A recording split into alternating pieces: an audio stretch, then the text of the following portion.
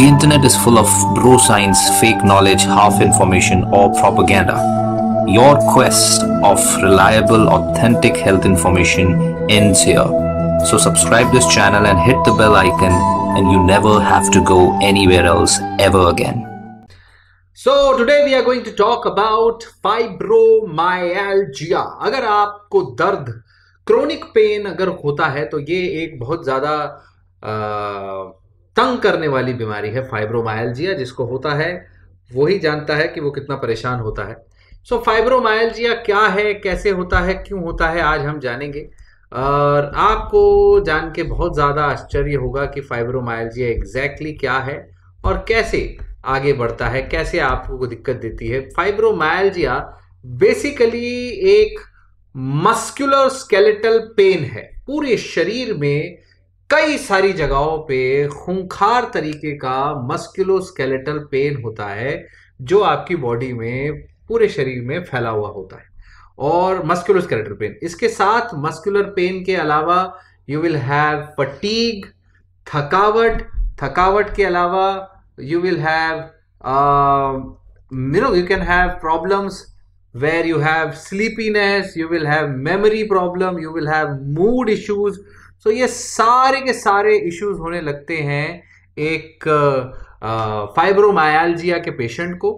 और रिसर्च में ये बताया गया है बिलीव करते हैं कि फाइब्रोमायालजिया बेसिकली आपके बॉडी के जो सेंसेशंस हैं पेन सेंसेशंस को हाइप हो गई है। बहुत ज़्यादा पेन सेंसेशन एम्पलीफाई हो गए हैं जिसकी वजह से आपको ये सारी पेन प्रॉब्लम्स हो रही है। That is because of the amplification of your pain sensations. That is what is believed by researchers.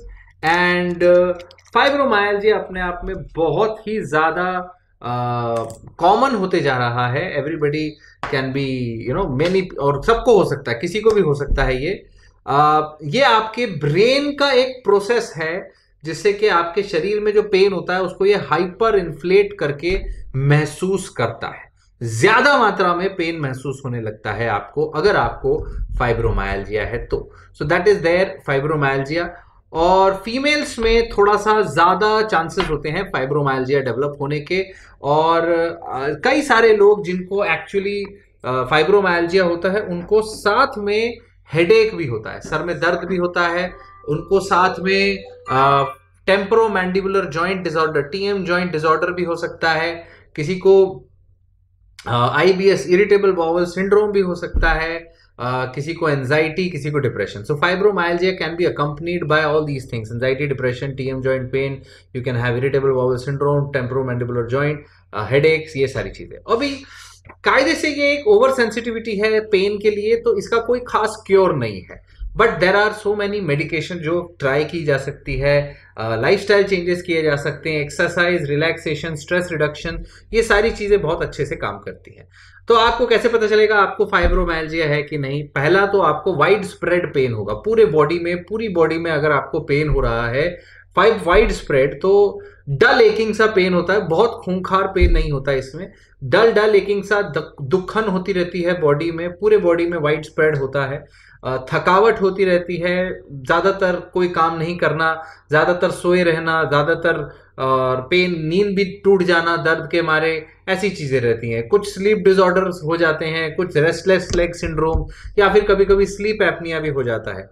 कुछ कॉग्निटिव डिफिकल्टीज हो सकती है, जैसे कि जिसको हम कहते हैं फाइब्रोफॉग फाइब्रोफॉग मतलब इनएबिलिटी टू फोकस मैं फोकस नहीं कर पा रहा हूँ, मैं कॉन्सेंट्रेट नहीं कर पा अटेंशन नहीं दे पा रहा हूँ, कोई काम नहीं कर पा रहे हैं टास्क नहीं कर पा रहे हैं, ये सारी चीज़ें हो सकती है। और फाइब्रोमाइल्जिया जैसा हमने बताया माइग्रेन जैसी बीमारियों के साथ हेडेक जैसी बीमारियों के साथ आईबीएस पेट की प्रॉब्लम्स के साथ अकम्प्टो हो सकता है पेशेंट पेट की प्रॉब्लम से आए साथ में बोले पूरी बॉडी में दुखन है टेम्पररी मेमोरेबुलर जॉइंट टी एम जॉइंट इस जॉइंट के साथ दुखन हो आपको कभी ब्लैडर प्रॉब्लम्स हो ब्लैडर में यूरिन प्रॉब्लम साथ में अकम्पनी हो सकते हैं। सो so, अल्टीमेट सबसे बड़ा सवाल क्या कारण है इस बीमारी का? फाइब्रोमाइल्जिया का कारण क्या है? सबसे बड़ा कारण है आपके जीन्स आपके genetics quite frankly genes genetically ही जो ये अगर फैमिली में लोगों को रहता है तो आपको होता है, ये जेनेटिकली रन करता है। नंबर दो है, ये बेसिकली कुछ जीन म्यूटेशन है। नंबर दो है, कुछ फ़िज़िकल या इमोशनल ट्रॉमा सबसे बड़ा कारण है ये जो ट्रिगर करता है। अगर कोई फ़िज़िकल चोट लगी हो कार एक्सीडेंट हुआ हो साइकोलॉजिकल स्ट्रेस है, कोई बहुत बड़ा प्रेशर है, उन्हीं चीज़ों से ये ये ट्रिगर होता है। फाइब्रोमायालजिया एक तरीके के जैसे माइग्रेन इसी चीज़ों से स्ट्रेसफुल सिचुएशन से ट्रिगर होता है, वैसे ही इससे ये फाइब्रोमायालजिया और कुछ इन्फेक्शंस हैं जो अब हो सकता है ट्रिगर करें फाइब्रोमायालजिया को। आपके केस में इन्फेक्शंस का भी एक कारण हो सकता है, जो बॉडी के अंदर इन्फेक्शन होता है माइनर इन्फेक्शन वायरल फीवर ऐसी चीज़ें भी कर सकती हैं आपको पेन अब अगर हम बात करें कि सर पेन क्यों होता है यार? पेन क्यों? देखो नॉर्मली आपके जो ब्रेन है उसमें से बहुत सारी करोड़ों नर्व्स जा रही हैं आपके सारे शरीर में। नर्व्स जाके आ, हर एक शरीर को इनरवेट कर रही है जब सप्लाई करती कंट्रोल करती हैं। सो so, क्या होता है कि ये कैसे रिपीटेडली नर्व स्टिमुलेट हो रही है आपके ब्रेन से सो so, उस रिपीटेड नर्व स्टिमुलेशन के वजह से आपको दुखन होती है पेन होता है दर्द होता है पूरी बॉडी में।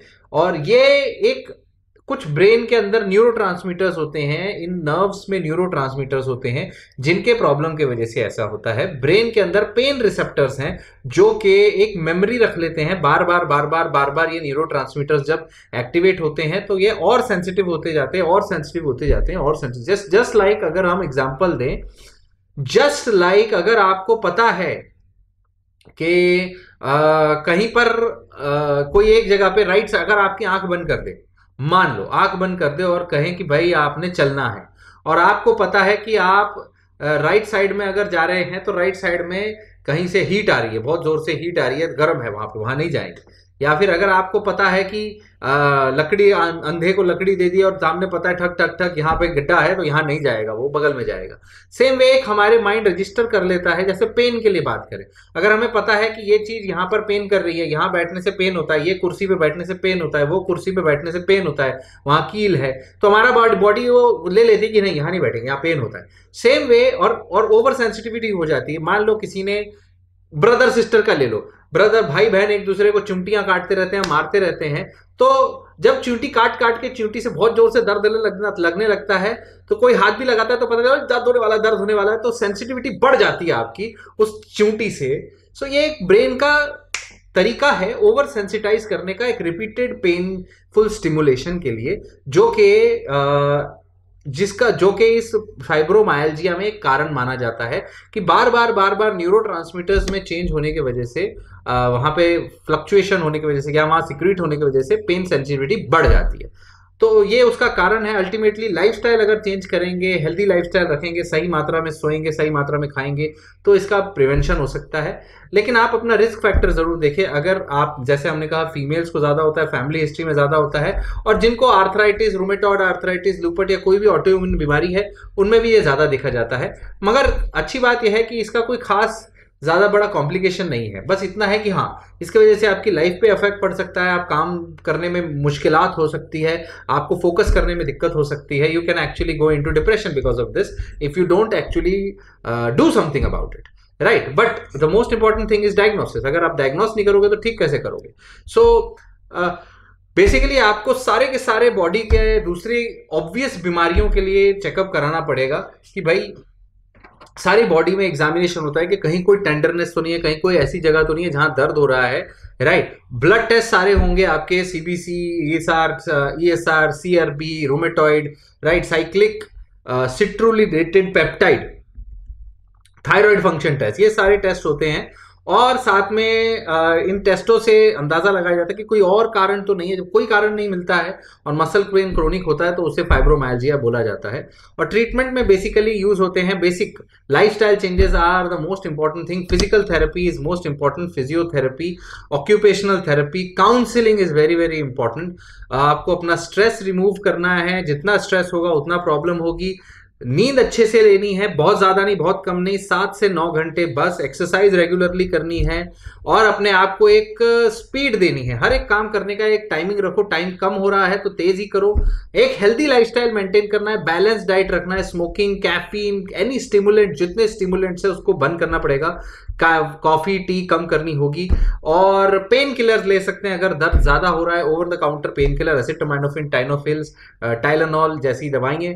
कभी कभी इसमें क्रोनिक पेन ज़्यादा हो जाता है तो एंटी डिप्रेसेंट्स भी देने पड़ते हैं। एंटी डिप्रेसेंट जैसे डुलॉक्सिटीन जैसी दवाएँ जो पेन को कम करती हैं बेसिकली क्रोनिक पेन के लिए वो दी जाती है। और फिर एंटी सीजर सीजर जैसी दवाएँ जैसे गाबा पेंटिन हो गया गाबा पेंटिन या प्री गाबालिन जैसी दवाएँ भी नर्व पेन के लिए दी जाती हैं, जो कि आपको फाइब्रोमाइल्जिया के लिए भी दी जा सकती है। लेकिन सर्वोपरि है लाइफस्टाइल चेंजेस सर्वोपरि है अपनी गलती निकालना, अपनी लाइफस्टाइल को सुधारना। अगर वो नहीं करेंगे तो आप फाइब्रोमायल्जिया से छुटकारा कभी नहीं पा पाएँगे। रिमेंबर एक good lifestyle is the only way of preventing yoga करिए मसाज करवाइए, आप एक्यूपंक्चर एक्यूप्रेशर ऐसी चीज़ें ट्राई कर सकते हो नो प्रॉब्लम लेकिन एक lifestyle is the key here make sure to share this video like the comments like करो कमेंट करो, भैया सब कुछ करो, मज़ा आना चाहिए। Thank you so much stay connected stay healthy